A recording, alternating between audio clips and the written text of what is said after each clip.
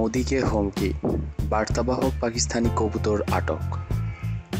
উড়িঘাটিতে সন্ত্রাসী হামলা ও কথিত সার্জিক্যাল স্ট্রাইক নিয়ে যখন ভারত পাকিস্তানের মধ্যে উত্তেজনা চরমে, তখন কবুতর আটকের খবর বের হলো। ভারতের সীমান্ত রক্ষাকারী বাহিনী বিএসএফ সীমান্তবর্তী পাঞ্জাব প্রদেশে বামিয়াল গ্রাম থেকে চিঠি সহ পাকিস্তানি একটি কবুতর আটক করেছে।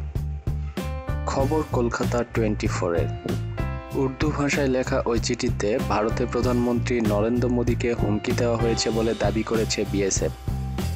চিঠিটি উদ্ধার করে স্থানীয় পুলিশের কাছে হস্তান্তর করা হয়েছে। এর দুদিন আগে পাঞ্জাবের গুরুদাসপুর থেকে একটি বেলুন উদ্ধারের দাবি জানায় ভারতীয় সীমান্ত রক্ষাকারী বাহিনী। বলা হয়, বেলুনে লেখা ছিল, মোদি, আপনি আমাদেরকে উনিশশো একাত্তর সালে সেই জনগণ মনে করবেন না। এখন পাকিস্তানের প্রতিটি শিশু ভারতের বিরুদ্ধে লড়াই করতে প্রস্তুত রয়েছে।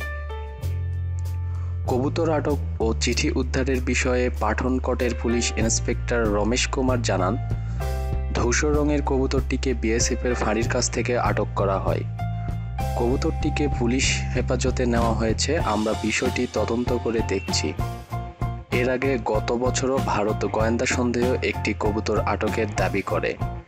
প্রতিদিন নিত্যানতুন খবরাখবর পেতে আমাদের রিপোর্টার জব্বার চ্যানেলটি সাবস্ক্রাইব করুন, লাইক দিন, শেয়ার করুন এবং কমেন্ট করুন।